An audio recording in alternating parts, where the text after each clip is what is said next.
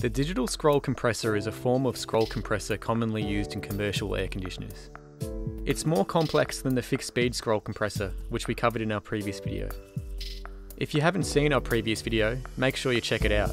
It also covers the basic operating principle of scroll compressors, which will be handy if you don't already understand it. In this video, we will cover the digital scroll compressor and its pros and cons. In the next video of this series, we will cover the inverter scroll compressor for comparison. The aim of these videos is to help HVAC engineers make more informed decisions when choosing air conditioning equipment for their projects. Like the fixed speed scroll compressor, the digital scroll compressor uses a fixed speed electric motor. But what makes it different is an unloading mechanism, which allows for a form of capacity control.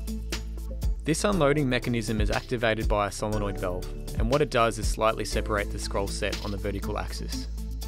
When the compressor is in the unloaded state, the electric motor still runs and the orbiting scroll still orbits, but there is no refrigerant compression occurring. This means that none of the mechanical work gets translated into useful heating or cooling for the indoor space during this time.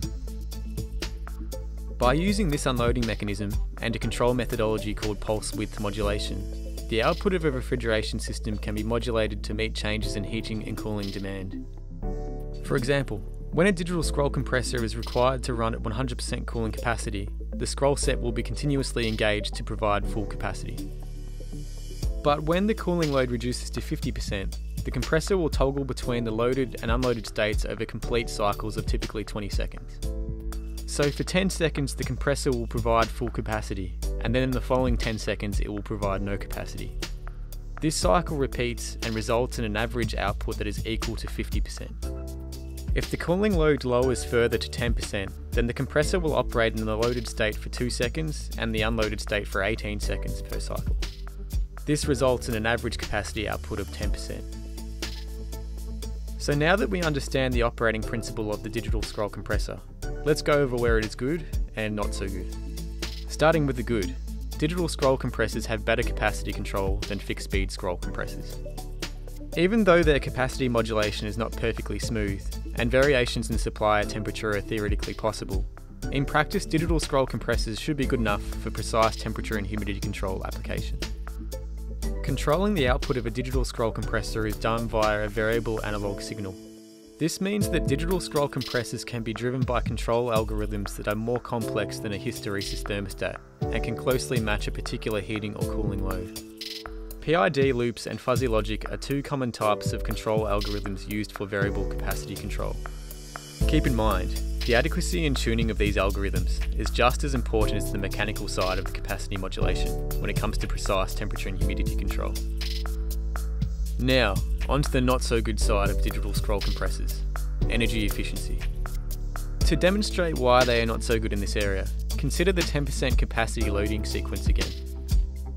Here the compressor is in the loaded state for 2 seconds per cycle, where it draws the full amount of electrical power. During the 18 seconds per cycle where the compressor is unloaded, the motor still runs and draws electrical power, even though there is no refrigerant compression occurring, and no useful heating or cooling produced. Granted there is a reduced mechanical load during the unloaded intervals, but electrical power consumption is still significant. So this means for this scenario, we have reduced the capacity by 90%, but the motor is always running and only returns a bit of a power saving during the unloaded intervals. In comparison, the fixed speed scroll compressor draws no electrical power during its off cycles because the motor is simply switched off. Basically, any reduction in energy the digital scroll sees during part load scenarios is not proportional to its reduction in capacity output. And this means that efficiency is being compromised. Plotting the EER or COP of the digital scroll compressor against capacity produces a curve that looks like this. The efficiency is at its max at full capacity and tapers off as the capacity is reduced. The efficiency of the digital scroll compressor falls by about a third at 10% output. To support this, two academic studies which tested and plotted the efficiency of the digital scroll compressor are linked in our description below. And considering that variable capacity air conditioners typically spend minimal time operating at full capacity, seasonal energy efficiency of a unit with digital scroll compressors will likely be low.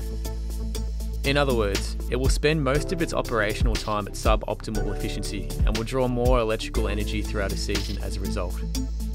This is significant as the world is putting increasing emphasis on energy efficiency. And Australia's Greenhouse and Energy Minimum Standards 2019 now requires that part load efficiencies are considered in the efficiency ratings of air conditioners. So, in summary, the digital scroll compressor uses some pretty clever mechanical engineering to allow for more precise indoor climate control. But it isn't the best option in terms of energy efficiency. If it wasn't for the inverter scroll compressor, the digital scroll compressor may have been the right choice for your next HVAC project. Look out for our next video, which will explain why air conditioners with inverter scroll compressors are the clear standout option. And don't forget to check out our website at airchange.com.au.